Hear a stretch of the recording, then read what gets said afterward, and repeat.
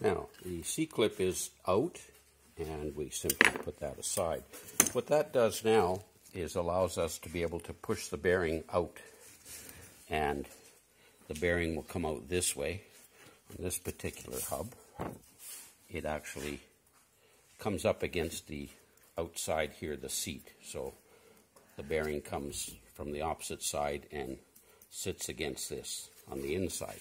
Now, there are people who will have told you that you could drive that out with a piece of wood and a hammer.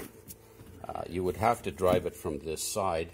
You're going to need a bigger hammer than I've ever seen in my life, and you're going to have to be about 20 years younger than I am to do that.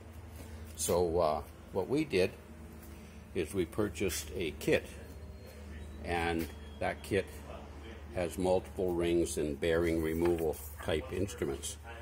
We even found that using this kit and a very large wrench, that it still would not get that bearing out.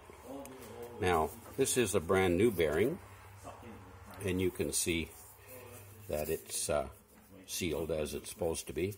It's top of the line, made in China. Um, if anyone knows of a U.S. one, I wouldn't buy one. I would buy one, or a Canadian one would be even better than a U.S. one. Uh, ha ha. And uh, then what we're going to do is take it over to our uh, press here. We're going to set that up on the press, and then we're going to show you uh, removing that bearing.